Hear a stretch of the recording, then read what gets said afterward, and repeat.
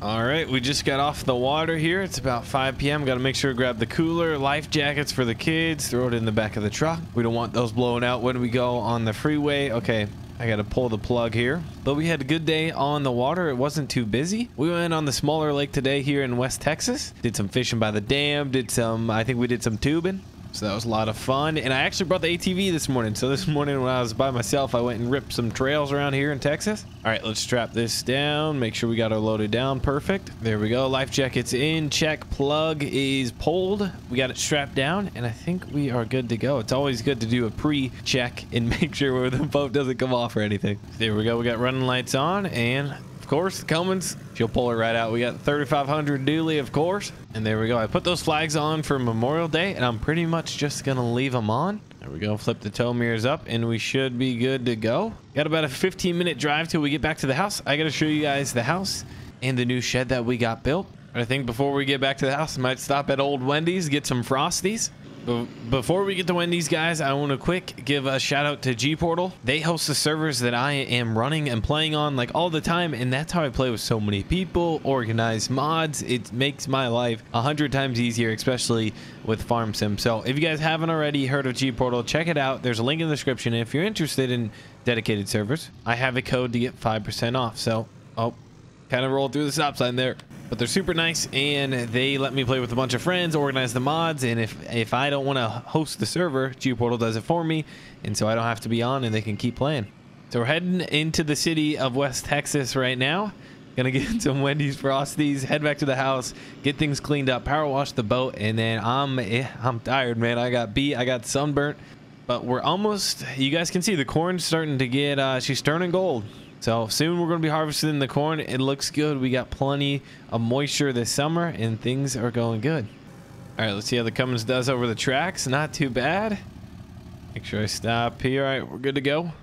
There she is, my favorite. Let me know, guys, in the comments if you enjoy 99 cent Frosty. Hopefully they don't raise the price here because it's nice to just, you know, uh, $1 for a Frosty. So there we go. Yep. Can I have a, let's do a vanilla this time. Vanilla, medium, frosty and that will be it. Thank you. All right watch out here. Don't scrape the oh my goodness i i almost smoked the wendy's. Okay i i'm looking like a rookie here. They're gonna be laughing at me.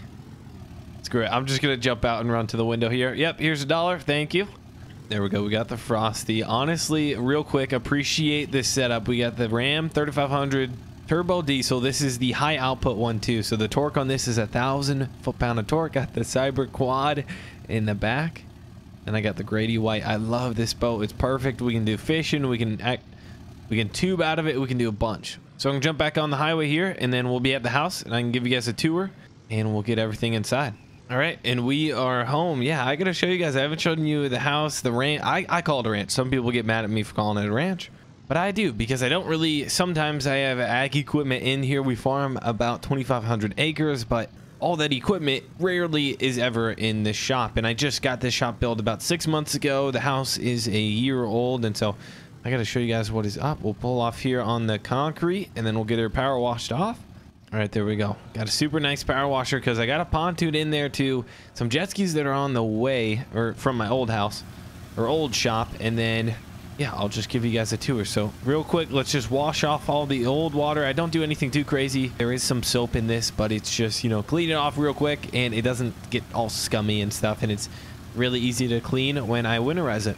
All right, there we go. This is my second time backing up this boat in this garage. And I think I got to do a little bit. I kind of forgot about this, but I, I kind of want to widen this because when I pull things out and back things in, I need a little more room and I hate driving on the nice grass. So let's see. Can we fit her in here? Watch the flags. I think the flags will be okay. All right. Let's see if I can crank it around. Yep. I'm going to have to pull forward.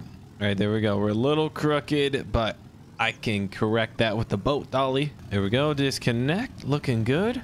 And then we'll pull out here. So Cummins did a good job. Literally, with all this power, you can't even feel the boat behind us. But this is the shop. This just got built a few months ago. Of course, I got my car lifts, love to turn wrenches, and I do quite a bit of kind of repairs in here. We also rate, race on dirt tracks, stuff like that. But still got to get all my toys in here. The only toy I have down, I guess, is the four-wheeler. I guess you can count the boats too, but it's, uh, it's, I got dirt bikes, I got ATVs, razors, all that good stuff. So wait a second.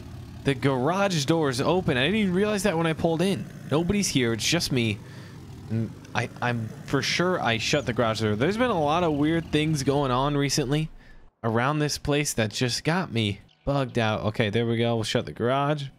But that should not have been open. I always check it before I left and I pulled in, didn't even notice. But no, that was not me. That garage door was open. Super weird. I closed it. I don't know what's going on. Make sure there isn't a robber inside or anything. All right, here's the garage. Everything looks fine in here. Got this Sunday morning driver right there. This is my daily. And this is the wife's Mercedes, of course.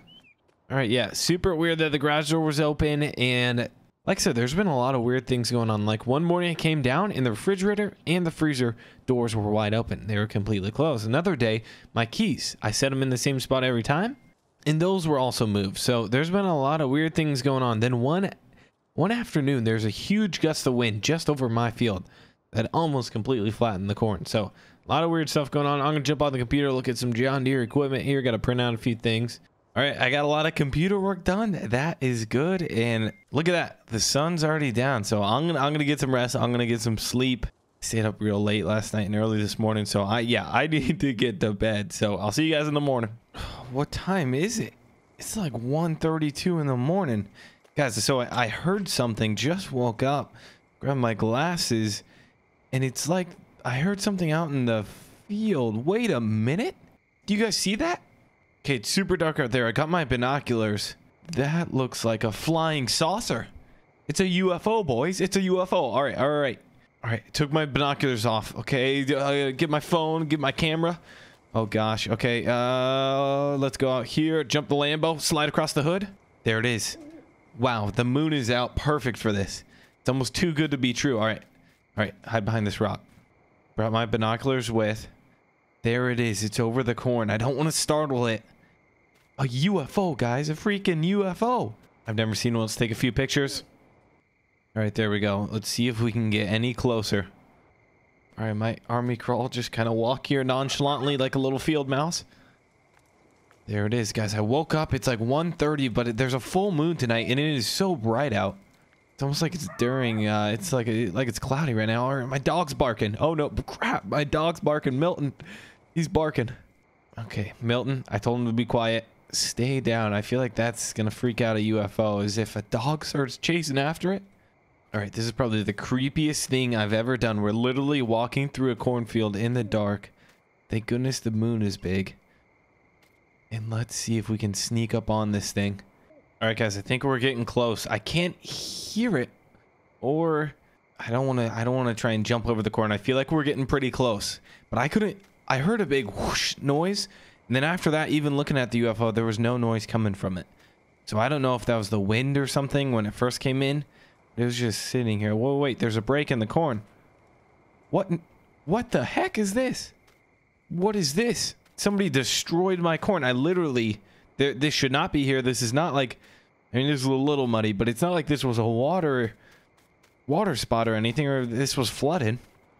No, I, I literally just flew my drone over this field like a week ago. Wait a second. This is a, this is a crop circle, boys. This is a UFO crop circle. Okay, let me pull up my phone flashlight. Now I can get a better look. There's the house from here. That's where we, that's where we were. The sprinkler's fine irrigation system doesn't seem broken or anything.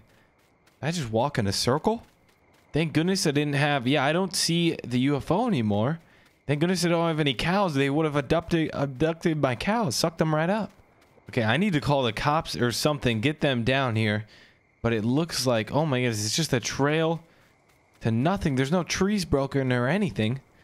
Okay, yeah, I need to get on the phone. I need to call the cops. Let them know you know, what? maybe the cops aren't the best ones to know. Maybe I keep it on the DL. But I am not sleeping for the rest of the night. I think I'm going to get the cops down here and get them to check this out at least in the morning here. They aren't going to believe me. They probably won't come down for... Probably won't even answer my call. All right, guys, it's about 6.30 in the morning. I've been running around with my head cut off all morning since 1.30 in the morning. So I called these guys. Like I said, I told you guys, I got off the... Uh, I took put down the camera, grabbed my phone, and called the police, told them, and pretty much I said, hey, I literally saw a UFO in my field, and they're like, asked for my location, all that stuff, you know, basic stuff, asked who I was. Then they hung up. And about an hour later, this semi truck with this trailer thing shows up and it's a UFO mobile command center and pretty much the agents who came out there's like 50 of them right now they're out in the field taking samples doing a bunch of stuff and they told me that 51 cows were taken from my neighbor's farm out in his pasture that they were just vanished. And so i called him went and talked to him. He said yeah he's got crop circles. His cows are gone and they they were abduct, abducted. And now these agents are telling us that we have to leave here. My family's got to pack up and head out. And i'm like dude i, I live here. And the neighbors same. So these guys are going crazy. I don't know what to do. I should probably shouldn't have even called them but they were probably gonna figure it out anyway. So that's insane guys. We saw ufo i don't know if they're gonna be able to catch it and stuff. Literally we were walking up on it didn't hear anything and boom it was gone. All i heard i woke up to was startled by some cows mooing and a big old big old wind noise so i'm gonna screw these guys. They're the ones telling me that i have to pack up leave with my family and stuff. Well i'm not leaving anywhere and my neighbor said he isn't either but that was still pretty crazy. There's a bunch of people working in the trailer and then there's a bunch of people out there in like hazmat suits taking samples of the cornfield so i'm pretty pretty whizzed out here. And uh but hey we had a good day yesterday i guess. We can look back at some old pictures. Don't know what life is going to be like after this. Insane. We saw a ufo let me know if you guys have seen the ufo in farm sim as well. What did you do? Did you catch it? Did he get on board? Did he did he i guess i gotta kind of i gotta unload this atv i forgot to do that yesterday. Maybe we'll do that real quick. And uh and right out in the field. They'll get pretty mad but there we go. Walked her back and just push it back a bit more. Come on push push. There we go. Nice thing about these tesla atvs is how light they are. They don't have an engine. They have a battery. And it's just super simple super light. So maybe i could take this thing. I should have took this thing on the ufo i could have jumped on this. It would have been quiet. And i could have snuck up on it. All right there we go boys. I'm gonna ride out in the field and hopefully nobody sees me.